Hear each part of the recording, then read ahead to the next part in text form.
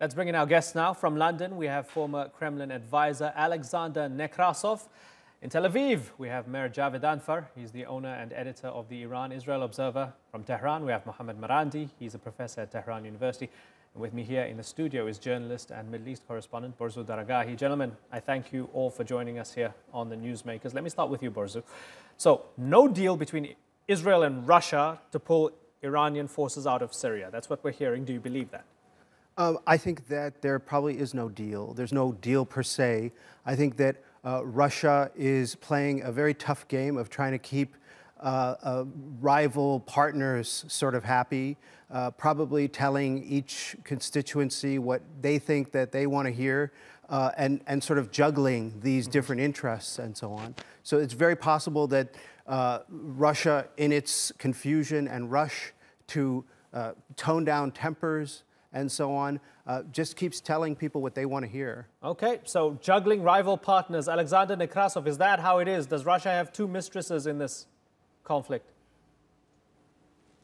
Well, Russia has more than that. Russia has problems with other sides involved in this. Americans, the Saudis especially. Uh, with the Turks, there is an understanding. Of course, no troops will be pulled out at once, but there was an agreement with Lieberman in Moscow that the Iranian uh, militias uh, and, and, and, some of the uh, troops will be at least 20 miles away from the battlefield when this operation to destroy finally the last remnants of ISIS and other groups in the north bordering Israel will start. So that's a good turn. And there was an understanding reached when Netanyahu was in Moscow on the May uh, celebrations of Victory Day that uh, with Putin that uh, the Russians will do everything. Russia will do anything, everything possible to keep these Iranians mm -hmm. at mm-hmm. bay and not let them move to Israeli uh, borders. That is very important. I don't think uh, you should ignore this. And I think generally we should understand something. Everybody keeps on banging on how disastrous the situation in Syria is, how long the conflict is. We should thank Russia, uh, Turkey, and Iran for restraint and, and for basically preventing this war becoming a regional war.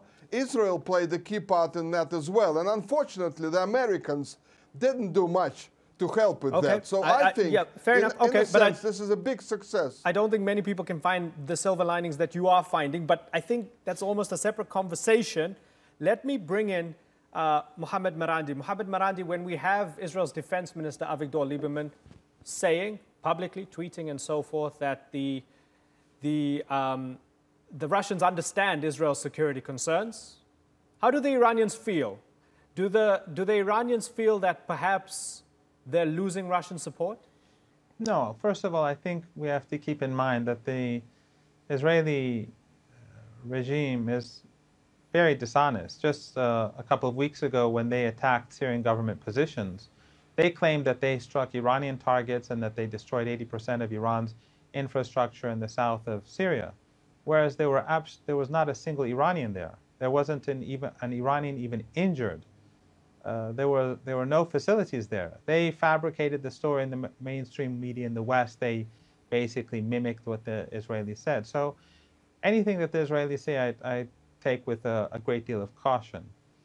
Uh, on the other hand, the Iranian-Russian relationship is very good. The Iranians and the Russians together have pushed back ISIS and Al-Qaeda across the board. Recently, the Americans like to take credit for what happened, but without a doubt, they had very little role to play in anything. In fact, they helped create these extremist groups. So the Iranians, the Russians helped the Syrian government, along with Hezbollah. They helped the Syrian government and the Iraqi government to push back the extremists. Now, the important thing to keep in mind, though, is that Iran is in Syria at the request of the Syrian government.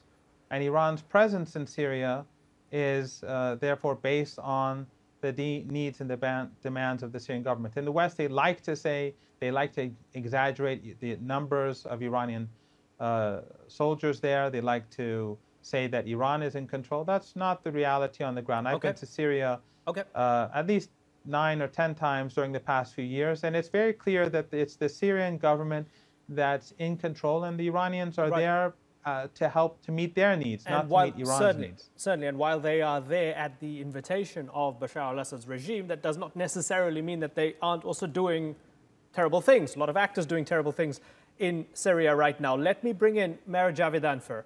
From the Israeli No, they aren't doing terrible things.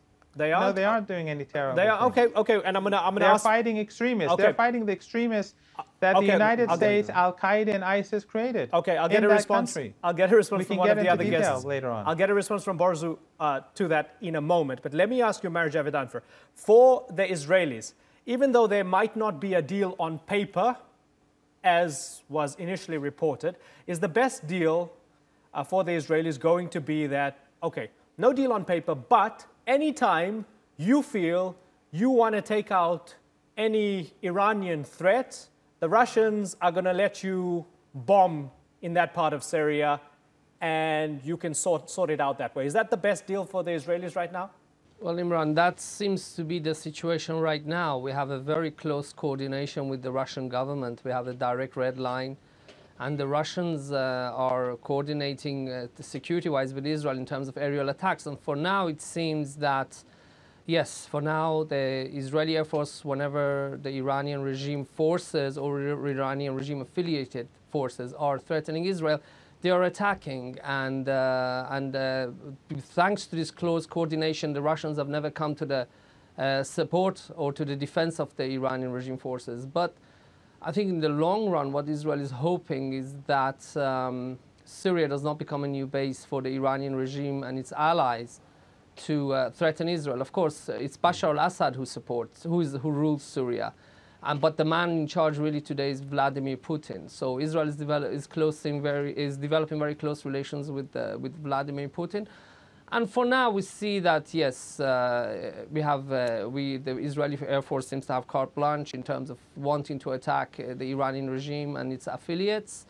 Um, what will happen in the future? I think they're working on a deal to make sure that there's an understanding between us and the Russians in terms of what happens for the future of Syria. The Iranian regime Right. doesn't like it. Well, we know the Iranian regime says that it doesn't have any forces there, but that, that doesn't make a difference. I think Israel is working very closely with Russia and, of course, with the Americans to find an arrangement, long-term arrangement. Meir, let me ask you something, something that was mentioned by Mohammed Marandi, which is the idea that the Israelis prefer jihadis like the Nusra Front on the border, Sunni extremists, rather than any Iranian influence. Is that a fair accusation? That is a ridiculous accusation coming from Mr. Marandi, who believes that ISIS was established by America and that Al Qaeda was established uh, by the West as well. This is completely ridiculous. Okay, Mr. Marandi, I'm going to give you a chance to respond to that in a moment, but I want Borzou Daragahi to respond to something you said a bit earlier on. Borzou, you've reported on the ground from Syria. You- You've reported Yeah. on this, this long war throughout its evolution. To the point that the Iranians haven't done any terrible things in Syria, you would respond what? Well, I, I think that there's no really honorable players when it comes to Syria. Um, I don't think that anyone has played a great role. Uh, but I think that, you know, the, the majority of the crimes and atrocities against civilians have been committed by the regime of Bashar al-Assad. I think that's been proven countless times by independent organizations. And to the extent that the, uh, uh, uh, the Iranian government has supported Bashar al-Assad, it is complicit, as is the Russian uh, government as well in those crimes. I'm not saying that the, you know, the rebels were faultless. I can also point to long stretches of the conflict. D- Dr. Marandi was saying that they were fighting ISIS. They were not fighting ISIS for very long stretches. The regime, the Iranians, it was most of the war, during the entirety of the war, 2012, when the Lebanese, Hezbollah, and the Iranians got really involved, they were fighting against Syrian rebels, including moderate rebel groups, Islamist rebel groups, uh, maybe occasionally against Nusra as well, quite fiercely, but very rarely did the Syrian regime or its Iranian allies and militia partners fight against ISIS. That was a fight that was led mostly by Syrian rebels and the, uh, the Kurds, the SDF forces backed by the US. Mr. Marandi, why is it so hard to admit that the Iranians also have blood on their hands when it comes to Syria? A lot of other actors do. Well, they don't, and and the narrative that your uh, guest is pursuing is one of nonsense. First of all, Hezbollah entered Syria in 2013, well after tens of thousands of foreign fighters were inside the country. ISIS was doing heavy trade with uh, neighboring countries, oil trade, that it was, the, and the Russians were the ones who actually bombed those ten thousands of, tens of thousands of tankers that were doing the trade. And the Americans who were flying over those tankers were doing nothing for a long period of time. The reason, of course, why the focus was not on ISIS for a period of time was because they were in the east of the country. And by the way, according to the Defense Intelligence Agency document of 2012, the U.S. Defense Intelligence Agency, the United States knew from early on that the dominant fighting force, they were not moderates, they were extremists, and that they were funded by neighboring countries. And the head of the Defense Intelligence Agency at that time, the famous General Michael Flynn, later on Al Jazeera of all places, admitted that the United States took a willful decision to support the extremists in Syria who wanted to create a Salafist state, as stated in the document, between Syria and Iraq. Who occupied that area? It was ISIS. So I think it's quite clear with regards to the Israeli regime. And I can go further. For example, the leaked document, okay, but, the leaked but don't. audio clip I'll tell you why. Because uh, for brevity, Kerry, okay, who admitted that the United States. I, I, I know you understand. For brevity, I want to I want to jump in here, and I don't mean to be rude to you. I know you understand. I want to bring everybody in. I want to bring in Alexander Nekrassov here, and your point was well made. I want to bring in Alexander Nekrassov to ask, what does Putin want right now? Okay, we're in 2018. We're halfway through 2018. The Russians are calling the shots in many ways. Now what? What's it going to do with Syria? Well, there's a lot of work to do still because don't forget in Idlib there are about what 30,000 uh, so-called rebels who are actually uh, ISIS and uh, al-Nusra terrorists, and they need to be dealt with. And uh, until they exist on the territory of Syria, uh, we don't really have an opportunity to discuss any peaceful solutions or political solutions. Now, I'd like to point out that some of your guests who are pro-Western, they use this typical uh, method of uh, saying a propaganda slogan and thinking that it reflects the reality on the ground. You can't do that.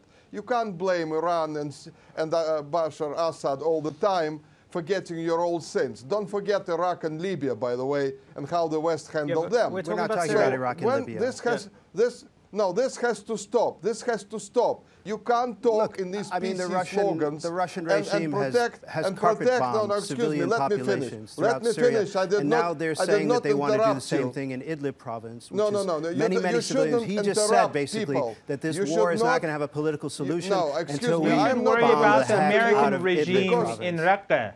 You, you Okay. are not. Well, Okay, uh, Mr. there. Nekrassov, finish your point. these the American regime bombing Raqqa. Okay, finish your point, Mr. Nekrassov.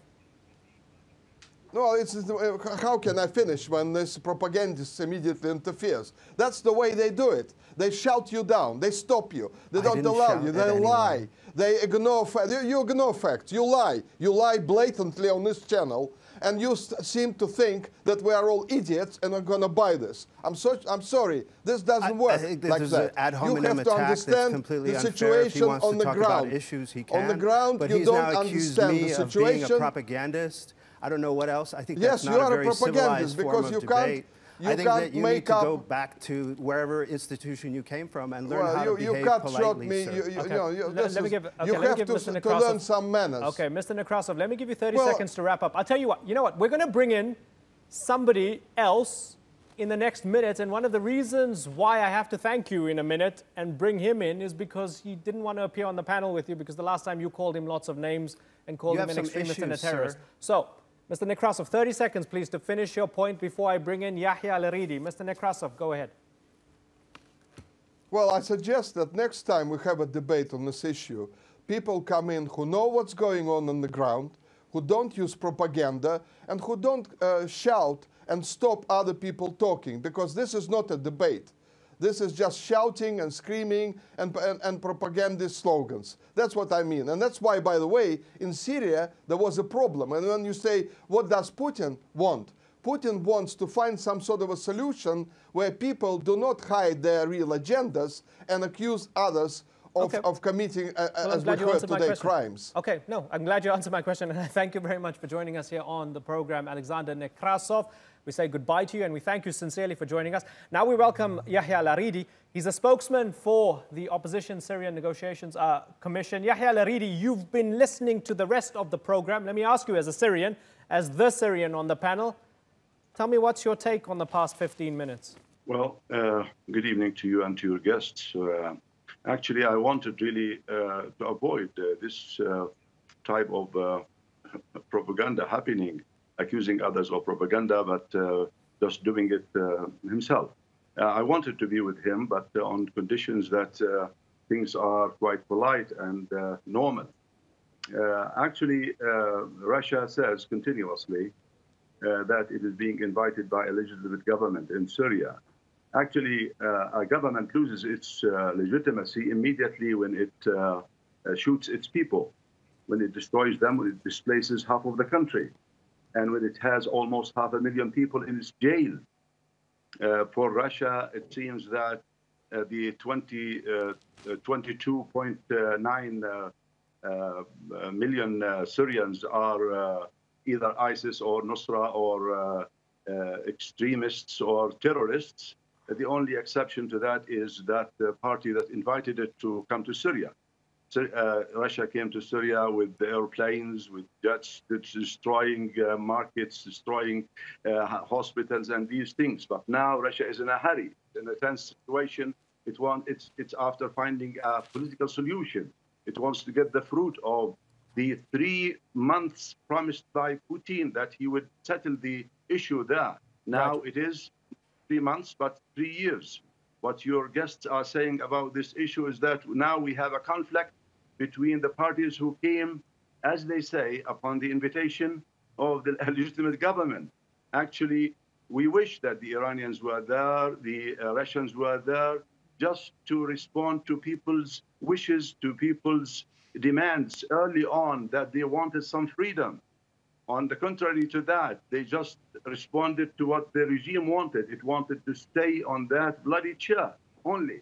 And we wanted them. And now we are creating another problem, creating a problem for us with Israel. Now Israel is using Iran as a pretext to pass that resolution in the Knesset. It was uh, the one that passed was passed in 1981, and it was considered by the Security Council as null and void. It wanted to have control over the Syrian occupied Golan Heights under the pretext of the existence of Iran there. So right.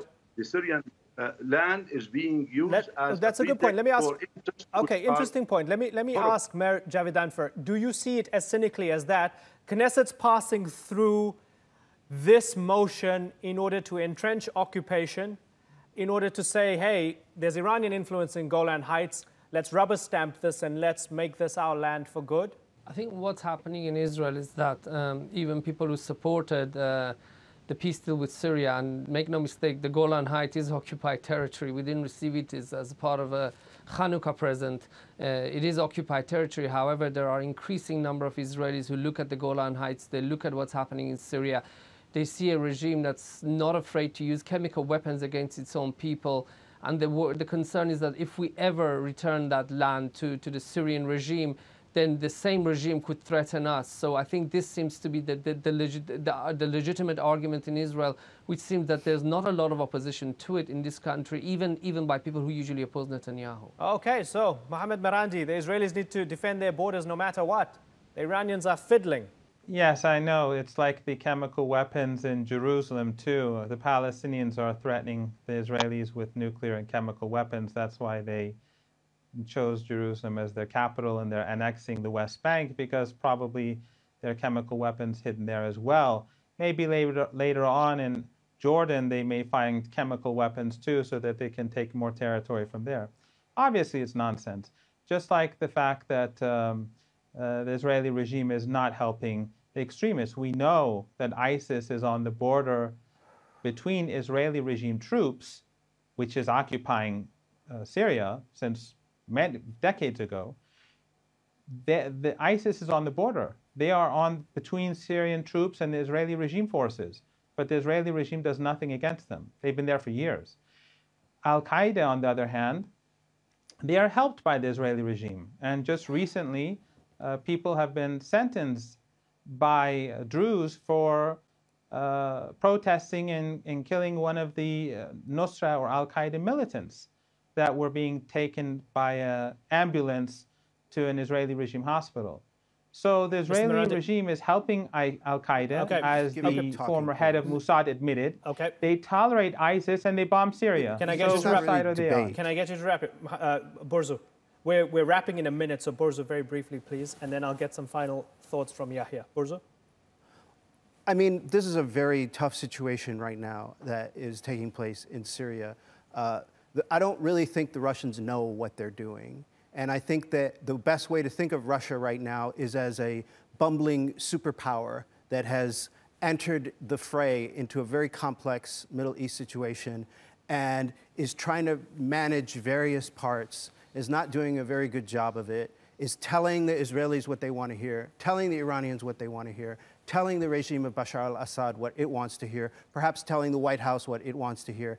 And that's a very dangerous recipe right now because Russia doesn't have any leverage over any of these players. So the Iranians could be like saying, sure, we'll leave the border area, meanwhile, send guys in. Uh, the Syrians could be telling them, yeah, yeah, yeah, we're telling the Iranians to get out and they're you know, not telling the Iranians to get out. And that's a recipe for accident and miscalculation and uh, potentially cataclysmic war. Yahya, some people see the Russian influence as a stabilizing influence, no matter how ugly the players are, no matter how many people Bashar al Assad has killed.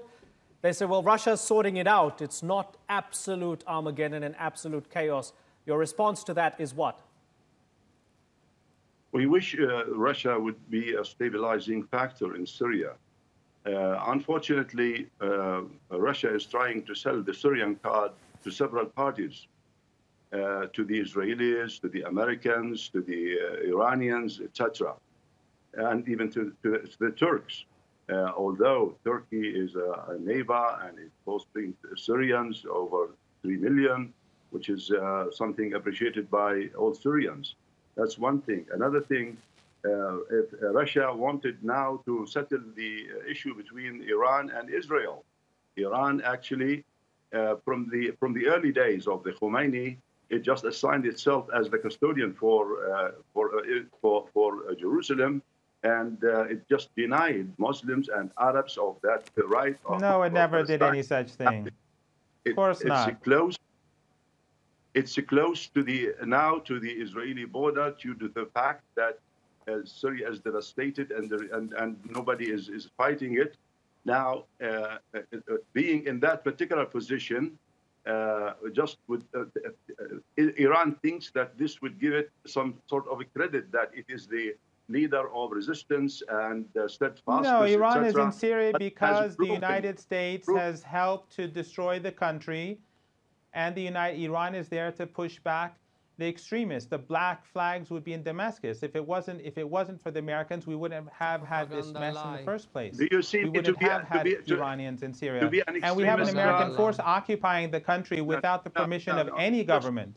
Okay, I'm in the All right. I'm in the horrible position All of having to stop all of you because we're completely out of time. But I thank you all for joining us here on the Newsmakers. Yahya Al-Aridi, Mohammed Marandi, Mayor Javid Anfer, Borzou Daragahi, and earlier Alexander Nekrassov. Gentlemen, there's a lot more to say because of the very nature of this conflict. Hope to have you all on the program again. Thank you very much.